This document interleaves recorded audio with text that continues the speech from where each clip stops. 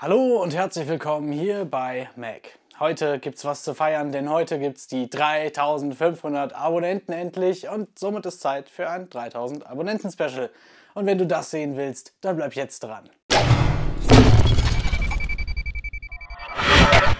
3500 Abos. Wow. Vielen, vielen, vielen Dank an jeden einzelnen von euch, der abonniert hat, der die Videos liked, der kommentiert und auch vielen, vielen Dank an die mittlerweile zwei Kanalmitglieder, die dieser schöne Kanal jetzt mittlerweile hat. Vielen, vielen Dank für euren Support, denn ohne euch wäre dieser Kanal wahrscheinlich schon längst in der Versenkung verschwunden. Aber durch den permanenten Support bleibt er da, auch wenn die Zeiten nicht immer so leicht sind. Und ja, Letzte Woche kam kein Video, weil ich erkältet war. Und diese Woche wäre auch um ein Haar kein Video gekommen, weil jetzt gerade, in diesem Moment, findet leider die Flut 2024 statt. Hier bei mir in NRW sind die Pegelstände schon ziemlich Mist. Und letzte Nacht war auch nichts mit Schlafen, sondern mit bereiten Sie sich auf den Übertritt des Gewässers vor. Ja, bis jetzt ist der Keller noch trocken, aber wenn das so wird wie vor drei Jahren, dann ja, hoffen wir einfach nicht, dass das so wird wie vor drei Jahren. Aber vor drei Jahren, lustig, dass das jetzt gerade passiert, denn tatsächlich dieses vor drei Jahren Ding, Flutkatastrophe 2021, hat relativ viel zu diesem Kanal beigetragen. Das wissen viele gar nicht, aber tatsächlich war es so, ich habe ja Bogensport schon immer betrieben, als ich elf war. Bis, ich glaube, zum Alter von 14, da hatte ich eine Verletzung und habe es dann erstmal sein gelassen. Zu Corona habe ich es dann wieder entdeckt und hatte mir auch eine kleine Alligator damals schon besorgt, um ein bisschen in meinem Keller rumzuballern.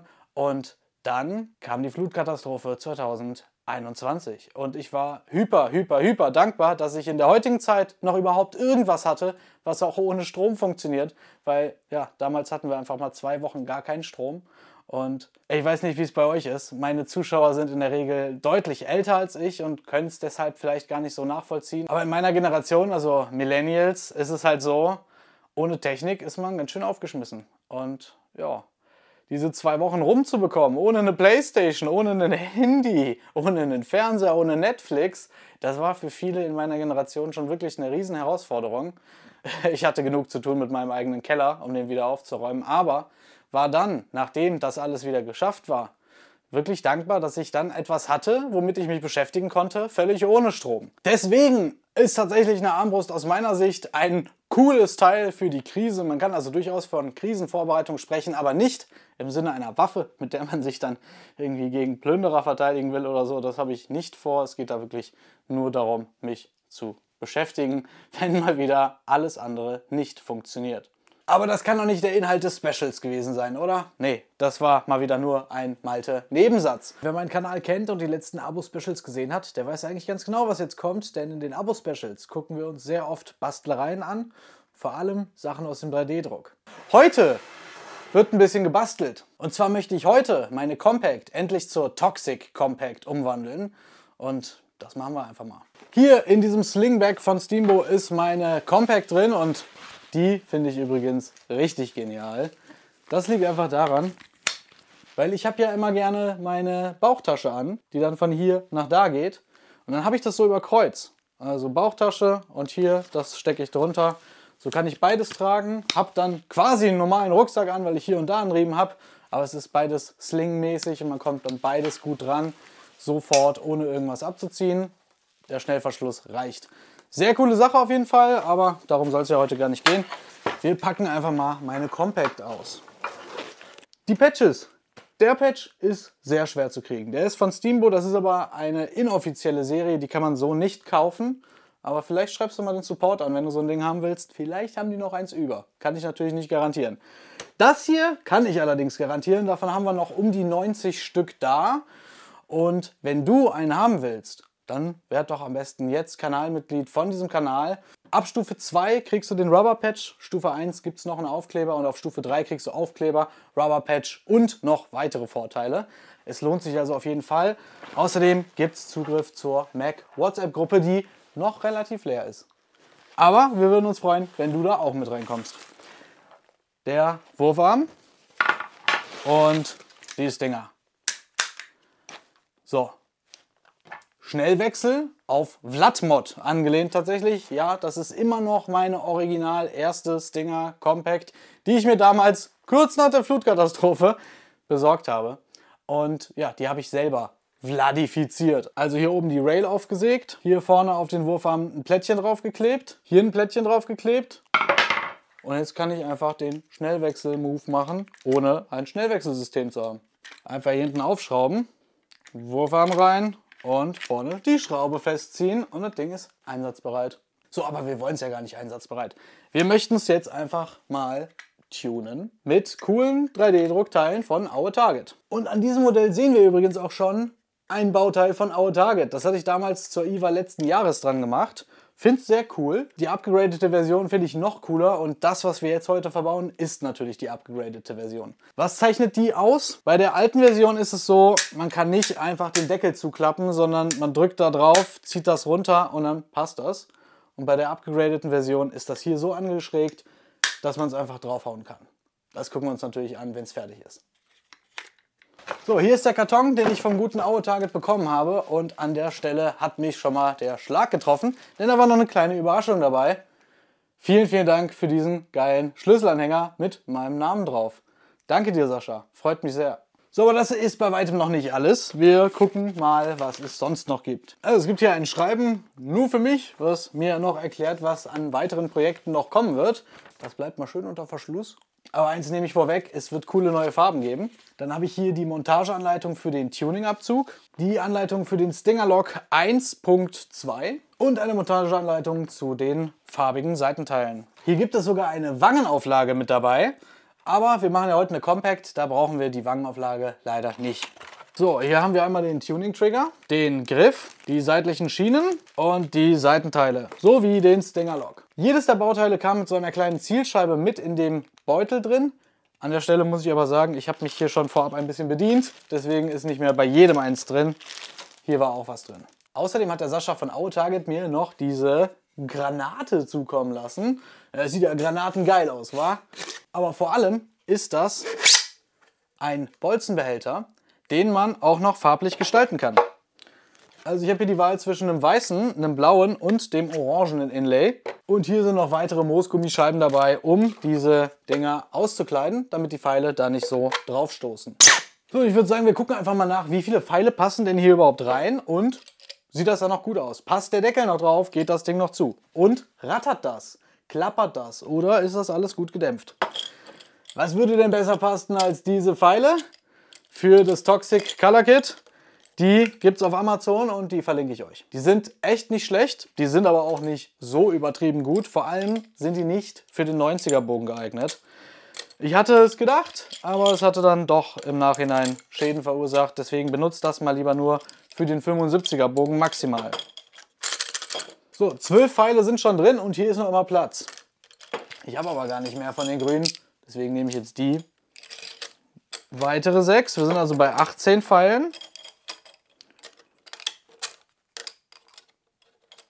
20, 21, 22, 23, 24,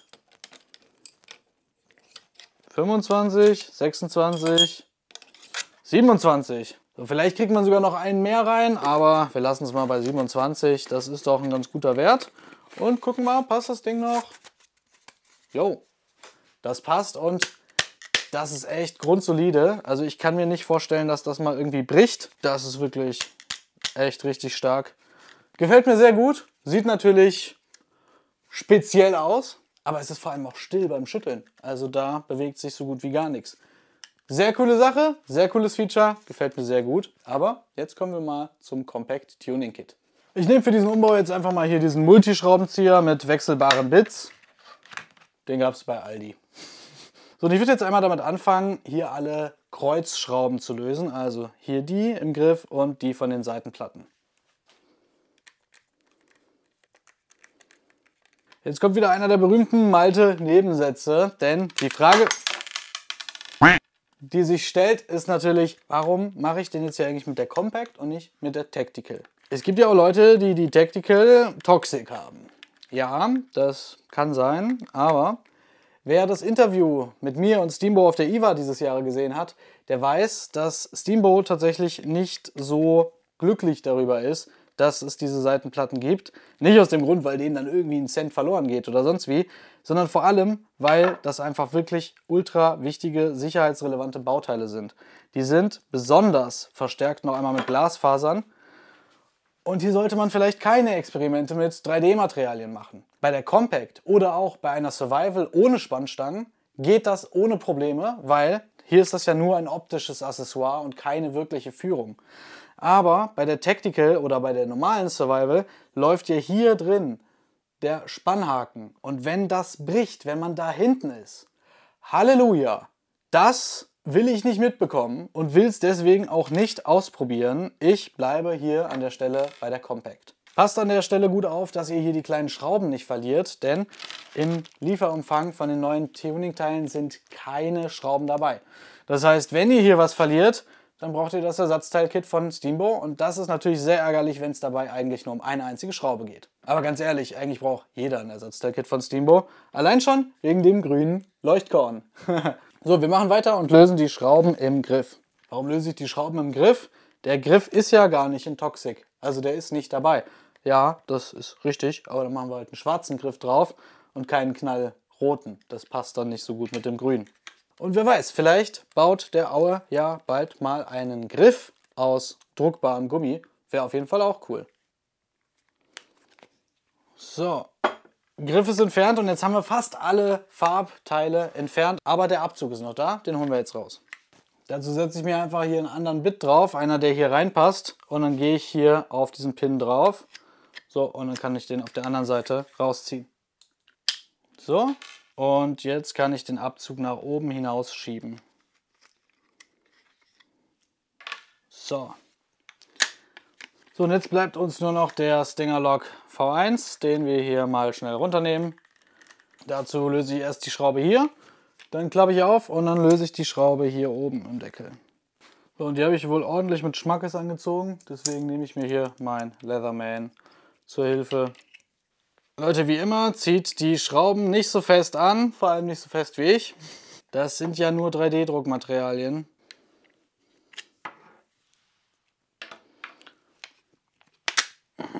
So, jetzt haben wir das Teil entfernt und hier können wir einmal sehen, was ich gemeint habe. Hier, an der Stelle ist es gebrochen. Hier. Schraube auf jeden Fall aufheben. So, dann fangen wir jetzt an, das Ding grün zu machen und wir starten mit dem Abzug. Hier hat man zwei verschiedene Abzüge zur Auswahl. Einmal einen schwarzen, einmal einen knallgrün. Und man hat sogar zwei Flächen zur Auswahl. Einmal eine schwarze, einmal eine grüne. Ich mache hier auf jeden Fall den grünen rein. So, ich lege mir die beiden Plättchen jetzt zusammen, mache hier die Feder drauf. Und jetzt wird das Ganze hier eingefügt. Jetzt hier einen kleinen Druck drauf geben und der Abzug sitzt drin. Dann ausrichten mit dem Loch und den Pin wieder rein. So, und jetzt sehen wir, wenn wir den Abzug ziehen, geht das Plättchen genau dahin, wo es sein soll. Perfekt. So, und als nächstes kommen jetzt die Seitenteile dran und tatsächlich liegen dem Abzug Schrauben bei. Die soll man hier verwenden für die Seitenteile, weil die Originalschrauben sonst zu lang sind und den Abzug blockieren können. Also die Seitenteile haben echt eine sehr coole Oberfläche, gefällt mir sehr gut, sieht echt klasse aus.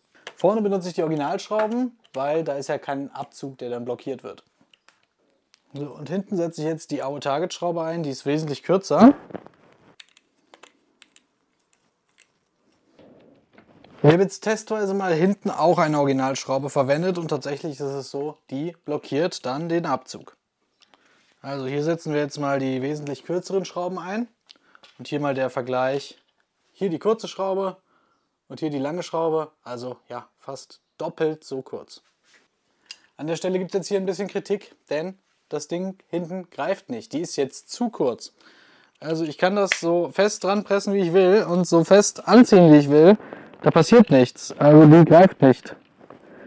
Hm, also hiermit bin ich jetzt nicht so ganz zufrieden. Für die Compact ist das in Ordnung, weil hier halt keine Führung drin ist. Aber die Schraube hinten, die lässt sich einfach nicht fixieren. Ich habe die jetzt so fest dran gedrückt, wie es geht und so fest angezogen, wie es geht, aber egal was ich mache, ich kann es immer wieder rausziehen. Die ist jetzt einfach zu kurz. Und deswegen machen wir es jetzt anders. Ich kürze mir jetzt mit meinem Leatherman einfach mal die Originalschrauben ein bisschen, weil es müsste eigentlich ein Mühe sein, an dem es liegt. Also ich kneife jetzt hier einfach noch eine Rille runter. So, dann probieren wir das Ganze noch einmal mit den gekürzten Schrauben. Ja, die packt. Und da kann ich jetzt auch endlich mal was runterdrehen. Mit den bearbeiteten Originalschrauben passt es sehr gut, aber trotzdem ändert das nichts an meiner Meinung, dass das halt trotzdem nur etwas für die Compact ist und nicht für eine Tactical. So, jetzt haben wir hier schon mal ein paar Toxic-Teile. Wie gesagt, den Griff haben wir leider nicht. Dementsprechend setzen wir hier einfach den originalen schwarzen Griff drauf. Fällt ja auch gar nicht auf, wenn ich sie in der Hand halte, wa? Und dann ziehen wir hier schon mal ein bisschen die Schrauben an. Jetzt haben wir Seitenteile, Abzug und den Griff dran. Eigentlich würde ich ja jetzt mit dem Stinger Lock weitermachen, aber wir machen jetzt erstmal die seitlichen Seitenschienen. Hierfür müssen wir aber erstmal bohren. Keine Panik, das kriegen wir einfach hin. Sogar ich, der zwei linke Hände hat. Und dazu müssen wir jetzt einmal das Magazin runternehmen. Heißt, ich löse jetzt hier vorne die Schraube. So. So, und jetzt müssen wir uns das Magazin zerlegen. Das ist eigentlich ganz leicht. Dazu fangen wir einfach mal an, den Stift vom Magazindeckel rauszudrücken. Einfach hier mit einer Schraube gemacht. Und dann ziehe ich mir auf der anderen Seite mit dem Leatherman raus. Als nächstes müssen wir jetzt hier alle Schrauben einmal entfernen. Also 1, 2, 3, 4, 5, 6, 7 Schrauben müssen wir ziehen. Das ist alles Kreuzschlitz.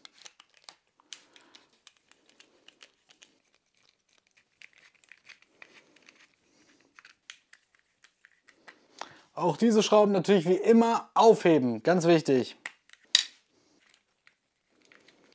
Die Schrauben sind übrigens alle gleich lang, ihr müsst euch da nichts notieren oder merken. So, nachdem ihr alle entfernt habt, könnt ihr einfach das Magazin auseinandernehmen. Jetzt können wir auch schon sehen, wo wir bohren sollen. Und zwar gibt es hier so angedeutete Löcher mit dem Platz für eine Mutter direkt schon drin. Und genau da müssen wir jetzt rein mit einem 4 mm Bohrer. So, und an der Stelle muss ich das Video leider abbrechen. Es ist einfach wieder viel zu lang geworden. Es tut mir wirklich leid. Teil 2 kommt dann nächste Woche. Ist schon vorproduziert, keine Frage. Egal, was jetzt hier passiert. Selbst wenn jetzt hier die größte Flutkatastrophe der Welt kommt. Das Video kommt online. Ganz doll versprochen. Und so sieht das Ding dann aus, wenn es fertig ist. Aber das gucken wir uns nächste Woche an. Ciao!